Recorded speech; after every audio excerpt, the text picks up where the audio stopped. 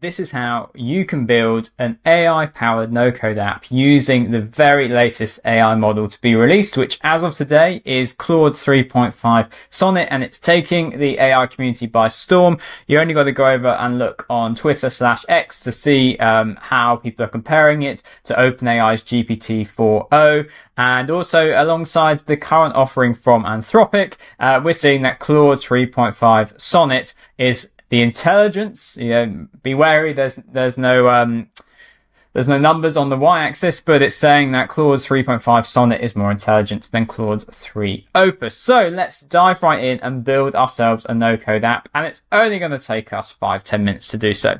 Uh, so I um, am using Bubble.io. That is uh, my no-code um, platform of choice. Uh, and let's start with a blank page here. So what do we need in order to create an AI tool? Well, at the very least, we need an input. So I'm going to say a multi-line input and drag that in. Now, this is not going to be a lesson about designing in Bubble. I'm going to do the design process very quick. It's not going to be responsive, meaning it's not going to adapt to different page sizes. Uh, if you were wanting to do that, check out our videos on um, container layout, rows and columns. That's the way you should do it, but I'm going to do it nice and quick here. And then we just need a button. Like I say, going to make this really rough. And then we need somewhere where our response uh, comes back. So let's now actually dive into the AI part. Uh, so we need to go into the uh, Anthropic uh, API reference and then go to messages, create message. And this gives us the template for how we need to lay out our data going from our Bubble app, our no code platform to Anthropic, and then we'll get that amazing AI response back. Uh, so make sure you've got uh, CURL or CCurl selected up top here, uh, because first of all, we need to know our endpoint. This is where the data is being sent. So I'm going to copy that to my clipboard. Uh, and then I go back into my Bubble app and I go to plugins. And uh, this is an app that I've created loads of Bubble tutorials for from in the past. Uh, so we just go onto API connector and you don't, if you don't have that installed, uh, click add plugins at the top here.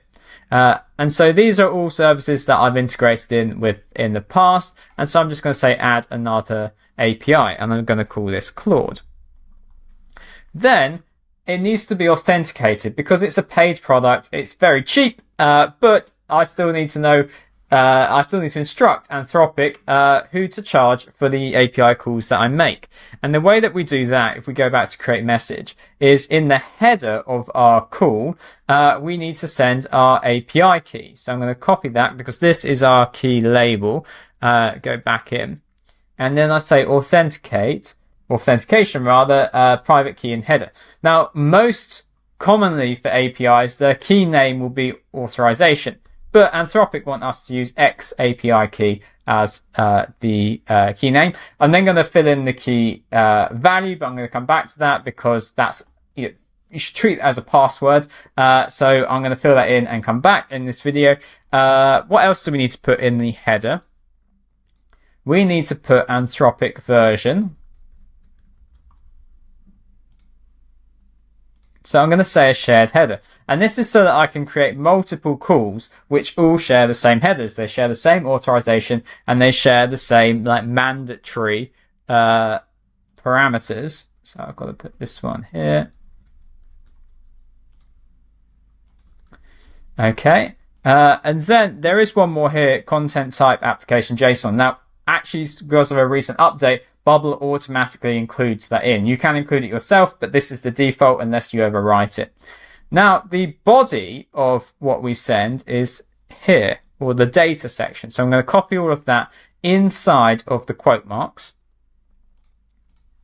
And then expand here. And this is my API call. So this is an action that I can take in a bubble workflow. Uh, so I'm going to say uh, ask AI. Now I said it's an action, so I'm going to change this to action. That makes it a node or like an element in uh, the workflow builder. We're going to come right onto that in a moment. Uh, and then uh, it needs to be post. How do I know that it's post? Well, it sometimes would say, there we go. It needs to be post just there. And then I'm going to paste in the body. Now, I've jumped around a bit because the endpoint, which I'll take back here, needs to go into here. Okay. Uh, so let's just work out what's going on here. First of all, we've got the model and uh, it, the model is automatically filled with Anthropic's most impressive model by their own standards, their most intelligent one, which is Claude 3.5 Sonnet. Uh, then we've got max tokens. This is saying how large should the response be? Uh, and this can go all the way up to, if you look through the documentation, it's all laid out, max tokens. Okay, different models have got different max tokens. You can go and investigate that. Um, but we'll leave that as as uh, uh, 1024.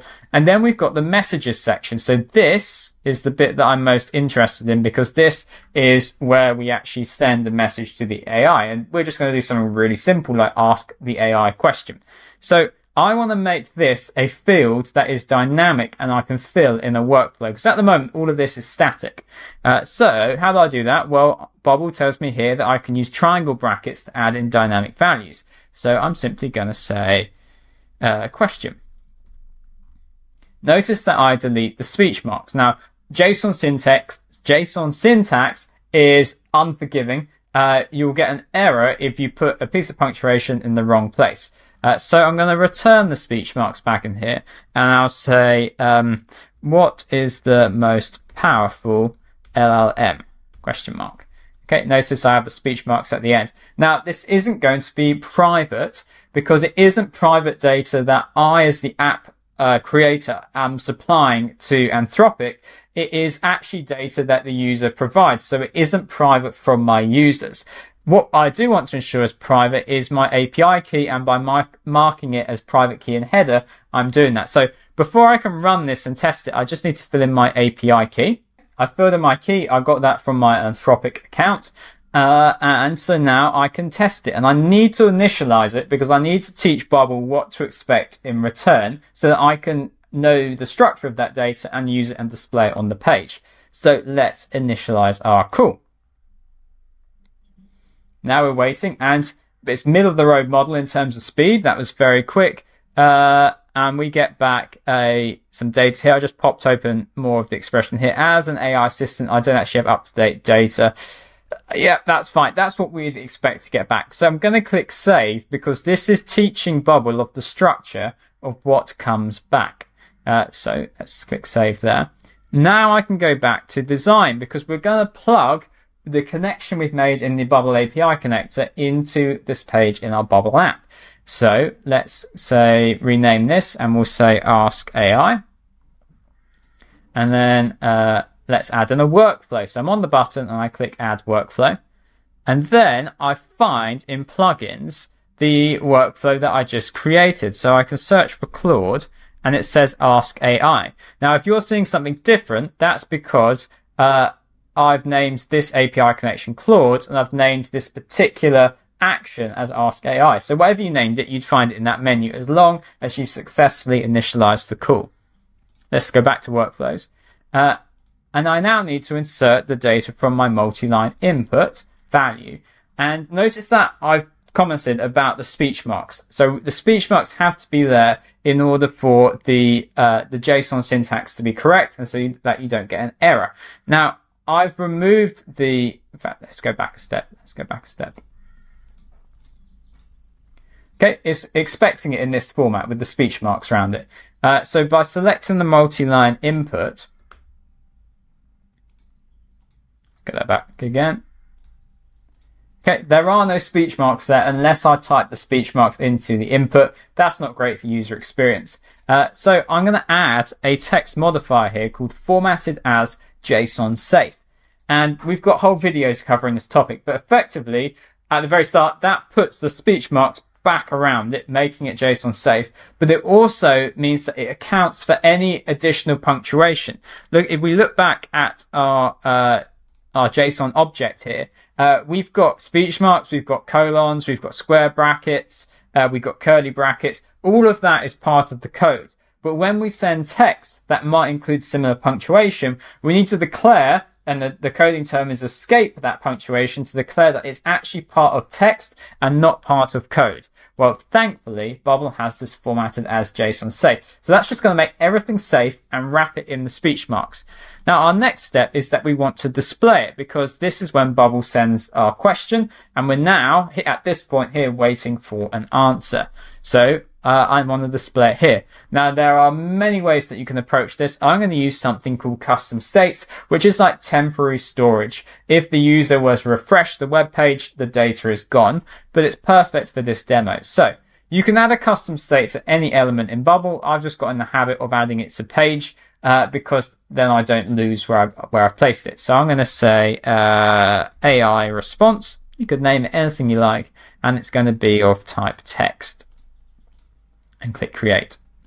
And then I want to refer to that here. So I go to my page, which I've labeled, I've labeled Claude 3.5, and there is my custom state. Okay, so now this text box is going to show any text that I set in that custom state. So the only thing left to do now is to set state and find our state Okay, and now find the data returned from the AI. Now we can go back to the API connector, reinitialize it to really check where it comes in. Basically within the structure, we just need that one particular bit that's actually got the reply. Uh, but I, having done this many, many times, just know that it's in content. Now, the content could contain a list of different options as a reply. That's the n value, the parameter, which you'd see in the API, um, in the Claude uh, API uh, reference page, we're not asking it to generate three possible responses. We're just asking for one because we've not set n. n defaults to one. We've not set n to be a higher number than that. So we just say first item. It only returns one item, but it knows that it's a list. We just say first item. And then we say uh, text. And that's what's come back. So now we are ready to test it. So here's my blank page.